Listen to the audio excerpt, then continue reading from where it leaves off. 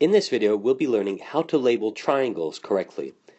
This is going to be quite important uh, in this chapter on further trigonometry because quite a few of the formula that we'll need to know will rely quite strongly on proper notation. Now, the first thing that we need to know is that if we're given a triangle, any triangle that is, it needn't be a right angle triangle, we start by labeling its vertices, which remember are nothing more than the sort of corners on each of, uh, nothing more than each of these three corners. And we label it anti-clockwise. Now remember, anti-clockwise or counterclockwise is exactly the opposite of what you would see on a watch. So, in other words, we're going to label it rotating in that direction.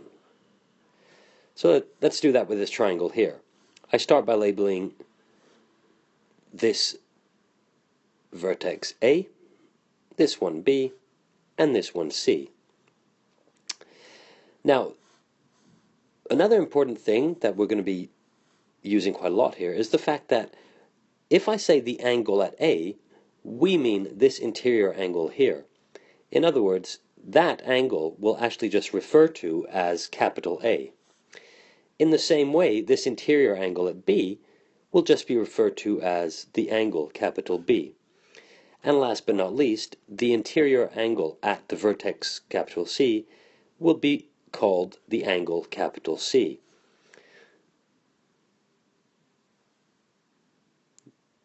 Now that we know that, the next thing we have to learn how to do is to label the side lengths of this triangle. So again, let's just draw this generic triangle again. And again, I label it A, B, and C. Notice that all the labeling at the vertices is done in capital letters. Now to label the side lengths correctly, we do as follows. I'll show you for A.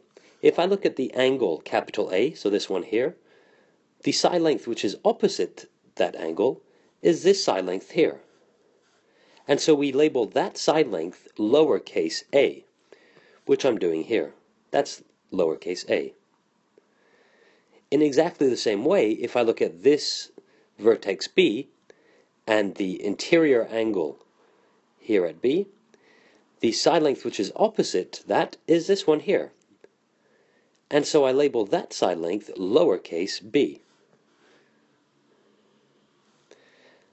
Last but not least, if I look at this vertex capital C, the interior angle at capital C is this one here, and the side length opposite that would be this side length here.